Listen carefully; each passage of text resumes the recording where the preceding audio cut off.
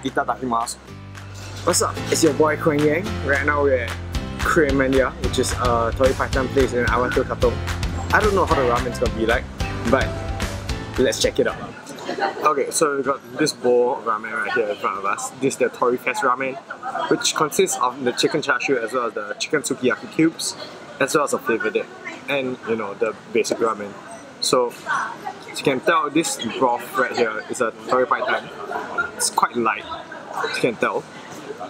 So let's just have a taste of it.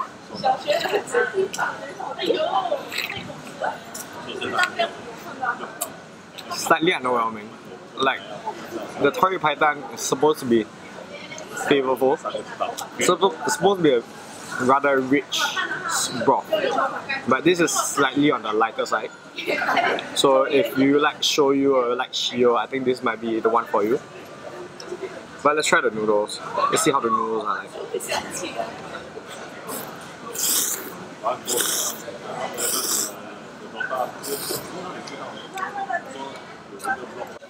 Maybe the noodles have been placed in soup for too long, but it's not as firm as I want it to be.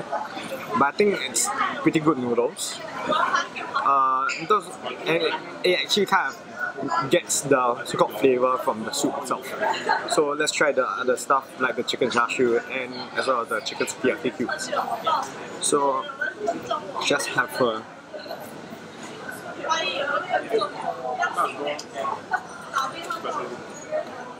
Okay, the chicken is pretty tough. It's in the broth for quite a while, so it's not dry, but it's still pretty tough and it's not like your normal chashu. Uh, normal chashu is very tender. It can't fall off, and you really didn't you don't need like chopsticks to like really bite it off. But for this chicken chashu, you actually kind of do need to bite it off, which is kind of a disappointment for me. And finally, we have the chicken sukiyaki cubes. So, as you can tell, as compared to the chicken chashu, these are not like braised in in like shoyu and all that. This is just pretty much normal chicken to me at first glance anyway. So let's try this out.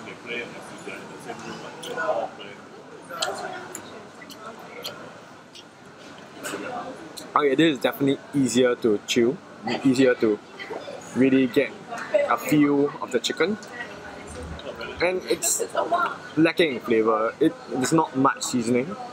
It's just okay. So I think overall this bowl isn't that great. Lastly, we have the flavored egg, which I would usually save for the last, but just for review sake, let's just try it out right now. Okay, so um, the egg is the egg is actually not bad. It's flavored properly, but it's as you can tell the yolk inside. The yolk inside is okay. It's not those really really runny ones, but for an egg, I think this will really not be that bad. It's it's okay. I think this whole bowl itself is okay, but if anything stands out, I really think it's the egg for some reason because I think it's flavored properly and there's that runny yolkiness as well. So this egg is fine. But the rest might need some working on, I guess. Like the chashu needs to be less. Well, the chashu here, give me a while. Yeah, the chashu here needs to be less uh, tough. Yeah, yeah, it has to be gets more tender. And the noodles itself, I think they're fine. Like you really can't go wrong with noodles. If you go wrong with noodles, I don't think you should be opening a ramen shop. But you know, just saying. Okay, so right here with the chicken karaage, which is about 480 for four pieces. I think that's fine. But first glance, it doesn't look like it's really good because it's very light. Like you can you can tell there's this very light color right here of the chicken karaage. So it's not like your normal chicken karaage where your normal chicken karaage is way much more darker than this. But that doesn't necessarily mean the taste is bad. So let's just try it out.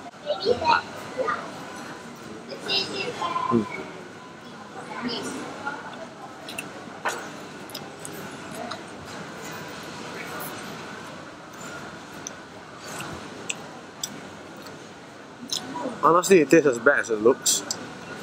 Because it's not seasoned properly. And there's barely any crunch to it. Maybe it's because we left it out for quite a while. But, like, there still isn't any crunch to it. I would expect some crunch even after it being left out for quite a while. But this is this is mediocre, honestly.